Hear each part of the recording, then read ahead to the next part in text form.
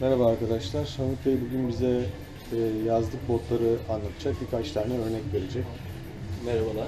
Ee, yazlık botlara şu taraftan başlayalım isterseniz. Ee, öncelikli olarak koruma seviyesi düşük olan günlük botlardan başlayalım. Şu tarz görebileceğiniz e, Dynes'in, Falcon'un, e, yine Alpinstars'ın birkaç modeli de var. Günlük kullanabileceğiniz, koruma olarak çok yüksek seviye olmayan ama yazın e, kullanıma uygun, rahat e, ayakkabılar var. Topukları sert, topuk korumaları var. E, ama e, burun koruma ve bilek koruma olarak biraz daha zayıflar diğer korumalı modellere göre. Uzun modellere göre. Aynen. Ee, ama yine şöyle ee, yine yazlık dış yapısı fili olan ee, burun, topuk ve bilek koruması olan Dynesty'de de diğer markalarda da birkaç örneğini görebileceğiniz yazlık botlar da var. Yine bu botların fiyatları ortalama 600 liralardan 500 liralardan başlıyor. Ee, mesela şöyle daha spor bir model gösterebiliriz yaz- yazlık kullanıma uygun.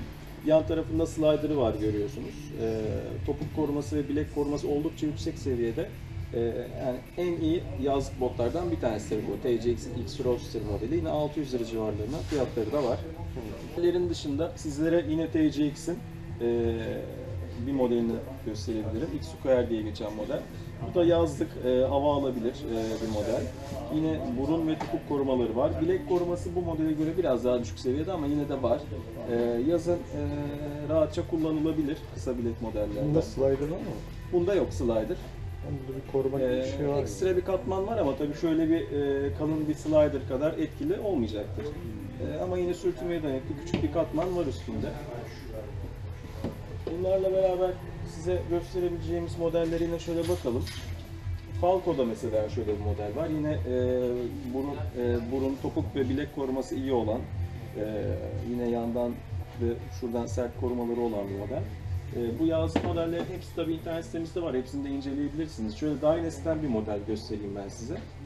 E, yine gördüğünüz gibi e, topuk, burun ve bilek korumaları oldukça yüksek seviyede. Genelde Dynasty'nin zaten e, bu tarz botlarında korumanın en üst seviyede olduğunu görüyorsunuz.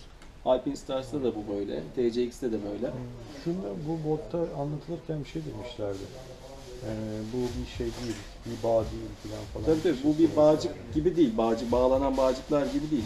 Şöyle çekerek e, kullanabiliyorsunuz ve şu çıt çıtıyla şuraya takıyorsunuz ki herhangi bir ip e, rüzgardan havada uçuşan bir ip olmadığı için tehlikede yaratmıyor Evet, bağcıklı modeller gibi. Aynen yani. öyle. E, yine sizlere göstereceğimiz e, ya- yazın kullanılabilecek olan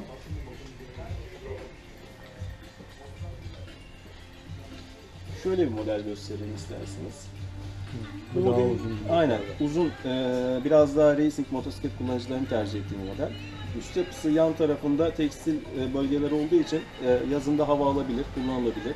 Tabii ki kısa bilekler kadar havalandırmalı değil ama e, en azından spor motosikletler için alabileceğiniz en korumalı botlardan bir tanesi Dynasty yine. Arkadan açılıyor. Aynen. Arkadaki şu fermuarından açılıyor. Şöyle açayım abi size. Şöyle gösterelim. İçinde ekstra bir koruma katmanı da var bunun. Şöyle. Ee, çift kat diyebiliriz e, koruma olarak. O yüzden e, koruma olarak alıp alınabilecek en iyi e, orta boy diyeyim buna. Botlardan bir tanesi. Şöyle slider'ı da direkt metal zaten.